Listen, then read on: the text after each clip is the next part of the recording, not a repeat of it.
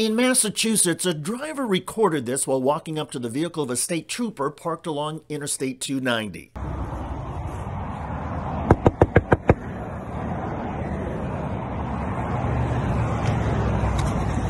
Bro, I see you sleeping here every single morning, okay?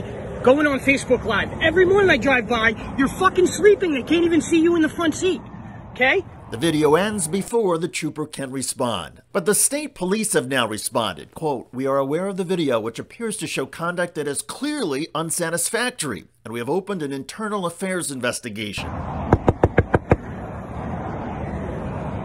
Nick Ford, the man who filmed this, wants the investigation to include unlawful police retaliation.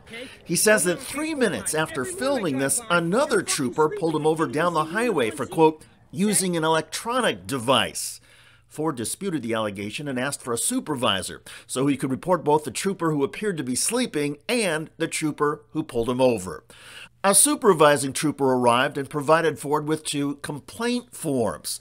Ford said he asked the supervising trooper to write him a ticket to have the interaction on public record, but the trooper denied that request and instead issued him a written warning. This incident happened in mid November. The Massachusetts State Police are refusing to identify the sleeping state trooper, but say he is still on the force.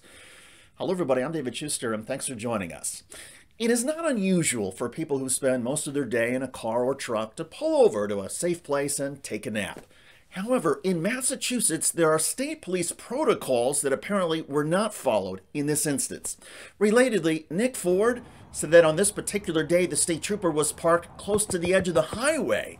Ford said he understands the pressures that all police face, but said that after witnessing this particular trooper sleeping several days in a row, the situation needed to be made public. Quote, that is not being tired. That is systematically stealing from your employer who is funded by my tax dollars. This isn't an accident. This isn't a one time thing. This is somebody that was so brazenly stealing that somebody, me, risked personal issues on this road to put a stop to it. It's that bad.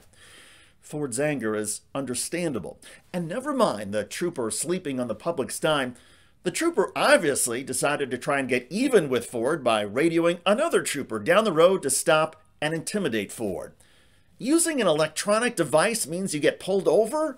Come on. That's absurd. And it underscores how ridiculous the state police troopers' actions were in this case. Sleeping on the job and engaging in retaliation is not a good look. Let me be clear.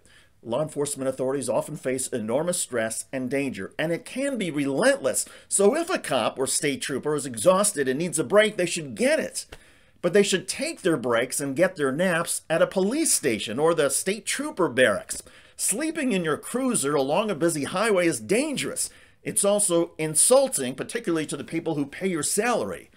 Law enforcement officers, including state troopers, are public servants. If you cannot serve the public with integrity and by following your own rules, find another job.